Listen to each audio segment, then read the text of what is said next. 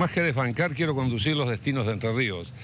Eh, estamos proponiendo sacar Entre Ríos de esta situación de estancamiento en la que estamos. Hemos hecho una gran campaña, hemos hablado con cada uno de los entrerrianos y esta va a ser una elección distinta a la que fue en Las Paso.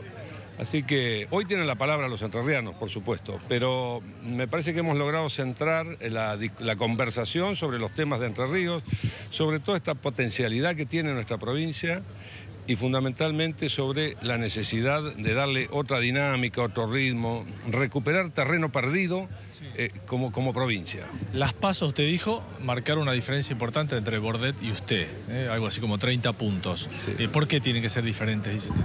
Bueno, va a ser diferente porque las paso, en todo caso carecieron de atractivo en lo que es este, discusiones en, en, a nivel de gobernador. Sí creo que el justicialismo tuvo mayores armados este, cada una de las ciudades, que esto puede haberlo ayudado a, traccionar algunos votos.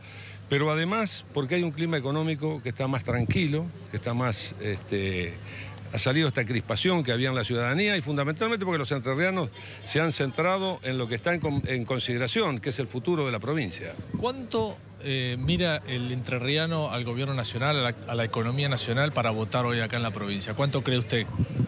Es un sinnúmero de factores que inciden al momento de votar. Por supuesto que cuando existe mal humor, porque el dinero no alcanza para llegar a fin de mes, la predisposición es distinta, pero yo confío mucho en los entrerrianos. Y hoy van a centrar la mirada en lo que estamos proponiendo fundamentalmente porque estamos proyectando futuro de Entre Ríos. Y Entre Ríos es una provincia que tiene enormes posibilidades, que tiene historia y que puede estar mucho mejor. Y creo que los entrerrianos van a centrar la mirada en esto, ¿eh? en las posibilidades que tenemos. Quiero preguntarle por el intendente de Paraná, por Barisco, sí. eh, que por lo que he visto estaba haciendo campaña pidiendo que la gente corte boletas, es decir, vote al actual gobernador y a él. Sí, no sé, esta historia de Paraná forma parte del folclore entrerriano el tema de corte de boletas en la ciudad de Paraná. Eh, yo personalmente no creo que esto vaya a incidir en nuestro resultado, en el resultado provincial.